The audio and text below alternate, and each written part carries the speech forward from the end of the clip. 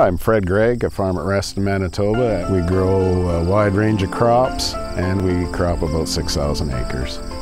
When we're considering the use of um, a glyphosate as some weed control as a pre-harvest application, 30% moisture is crucial.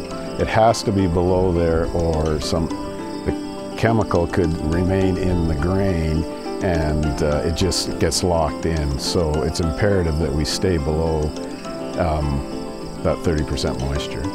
What we like to do is go to the area of the field that is the most immature and then you pick a head from that area.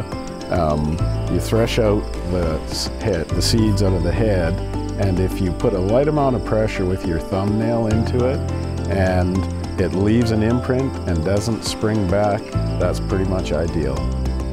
Um, the proper application timing of any chemistry, but especially glyphosate in this case, um, maintains the proper MRLs, make sure we're within the guidelines. In Western Canada, you know, my business and everyone's just depends on export markets. If we follow the steps of keep it clean, we will continue to um, be able to access all our markets.